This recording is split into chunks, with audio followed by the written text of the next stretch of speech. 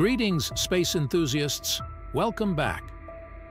Today we're delving into the mysteries of our neighboring planet, Mars. Join me as we explore the tantalizing question, was Mars alive? Could life in some form have existed on the red planet? Let's dive into the clues and discoveries that continue to captivate scientists and stargazers alike. Get ready for a cosmic journey to the heart of Mars.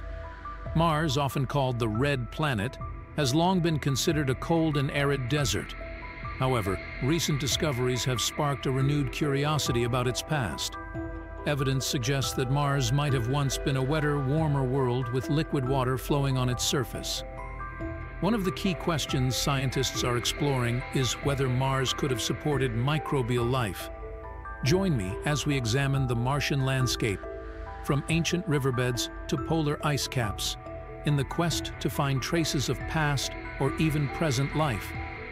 NASA's Curiosity and Perseverance rovers have been our robotic eyes and hands on Mars, analyzing rocks, soil, and the atmosphere discover the intriguing findings that hint at the possibility of organic molecules and the necessary building blocks for life.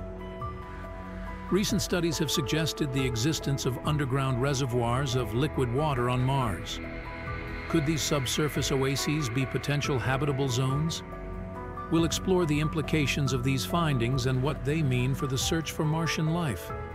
Methane, a gas associated with biological activity, has been detected in periodic spikes on Mars.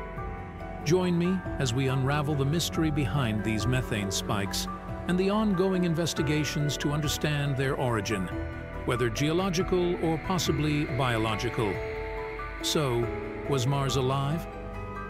The answer remains elusive, but the clues we've uncovered so far point to a complex and dynamic history. If you're as intrigued by the mysteries of Mars as I am, hit the like button, subscribe for more space exploration content, and share your thoughts on the possibility of life on the red planet in the comments below. Until our next cosmic journey, stay curious and keep exploring.